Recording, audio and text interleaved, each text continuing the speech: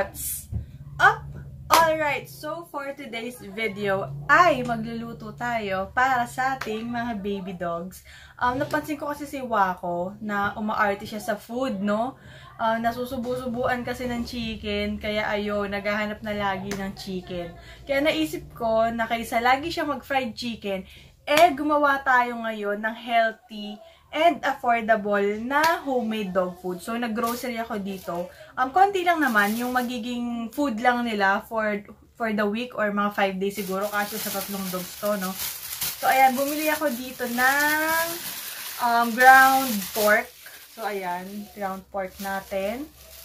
And then, this is ano lang, 1-4 lang, 1-4 kilo. Kasya na yan sa kanila. Kasi meron pa naman tayong mga vegetables. So, bumili ako din ng carrots. Meron ako nakitang carrots na balat na. So, halatang tamad tayo, no?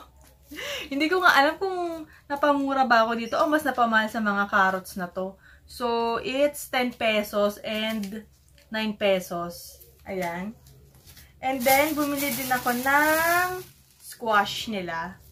So, ayan. Konti lang din. Pero pag napagsama-sama natin to madami na. And potatoes. Ayan. So, ayun. Madali lang naman yung gagawin natin, no?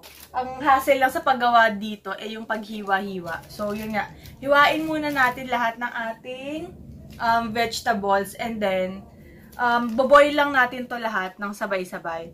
So, boil natin ang ground pork, potatoes, the carrots, and squash. Okay, so tara, punta na tayo sa kusina and maghiwa muna tayo.